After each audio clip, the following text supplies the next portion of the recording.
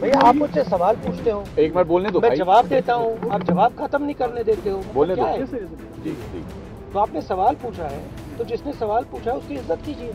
तो राहुल को आ गया गुस्सा। बोलते बोलते मीडिया पर बरस पड़े राहुल गांधी। राहुल गांधी को गुस्सा क्यों आया? वो हम आपको बताएँगे। पहले ये तस्वीरें देखिए कि कैसे लोकसभा में नेता प्रतिपक्ष और रायबरेली से कांग्रेस सांसद राहुल गांधी हाथरस पहुंचकर हाथ थामते हैं भगदड़ के पीड़ितों का। दिलाते हैं दिलासा कि मिलेगा इंसाफ। लड़ेंगे राहुल, डटेंगे राहुल इंसाफ के लिए सड़क से सदन तक। हाथरस के ग्रीन पार्क में करीब 20 मिनट तक इन पीड़ितों से मुलाकात के बाद जब राहुल बाहर निकलते हैं तो मीडिया से मुखातिब होते हैं। वो हाथरस घटना पर बोल रहे होते हैं। इसी दौरान जब मुआवजे को लेकर सीएम योगी से वो बड़ी मांग कर रहे होते हैं तो कुछ ऐसा होता है कि फट पड़ते हैं राहुल गांधी। यूपी के चीफ मिनिस्टर से विनती करता हूँ कि दिल खोल के कॉम्पनसेशन करें। सर परिवार वालों से मिली क्या कुछ कहा? राहुल जी परिवार आपने बड़ी बात कही है। बताइए। राहुल जी आपने बड़ी बात मुआवजे की कही है। दो लाख की बात उन्होंने कही है। तो मुआवजा निश्चित तौर पे ज़्यादा उनको मिलना चाहिए क्योंकि बहुत गरीब लोग हैं। मिलना चाहिए गरीब लोग हैं। इस समय इनको ज़रूरत है। लेकिन तो अगर आप मैडम जवाब देने दीजिए। इस समय इनको ज़रूरत है। अब आपने छह महीने बाद दिया एक साल बाद दिया डिले किया। उससे किसी का फ़ायदा नहीं राहुल जी राहुल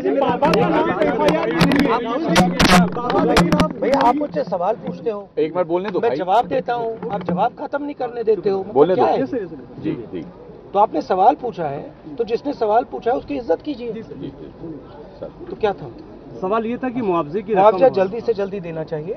और जितना जितना दिया जा सकता है दिल खोल कर देना चाहिए। सर परिवार वालों से आपकी बात हुई उन्होंने क्या कुछ कहा? किसको दोषी मानते हैं परिवार? एक मिनट रुक जाओ भाई। जी देखिए परिवार वालों से मेरी पर्सनल बात हुई। जी। उनके परिवार के बारे में जी। उनके बच्चों के बारे में माता के बारे में वो कैसे थे क्या करते थे तो वैसी बात हुई है। उन्होंने कहा कि प्रशासन की कमी है। उन्होंने कहा कि जो अरेंजमेंट वहाँ पुलिस का होना चाहिए था वो नहीं। था ठीक है? बट बहुत दुख में है शौक में है। तो ऐसी सिचुएशन में मैं मतलब उनकी जो स्थिति है उनकी सिचुएशन है उसको समझने की कोशिश करता हूँ।